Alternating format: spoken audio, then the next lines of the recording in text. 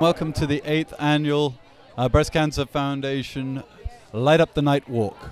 Obviously, this is all in the aid of raising funds for the Breast Cancer Foundation uh, and also breast cancer survivors. It is also about awareness.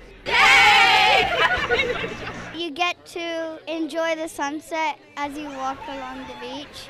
I'm from Baptist Health International and the Miami Cancer Institute, and we like to support this event just because we have so many breast cancer patients from Cayman um, that we like to support the rest of the community, not only from when they're overseas, but also when they come back to island with um, their support and help with the Breast Cancer Foundation. These funds are raised to help people that are struggling with breast cancer, whether it's before and they're just going through the process of chemotherapy, radiation, whatever they have to deal with, but also afterwards because we have a support group that we also help with handling the after effects of what this terrible disease causes to people. But the good news is that we get tremendous community support like we have tonight. This is our best year ever. Uh, it keeps getting bigger and bigger every year, and these funds are so important to us because we never have enough money for uh, a cause like this. It seems every year there's more and more people that are afflicted with breast cancer, and we want to do everything we possibly can to help them and fund their medical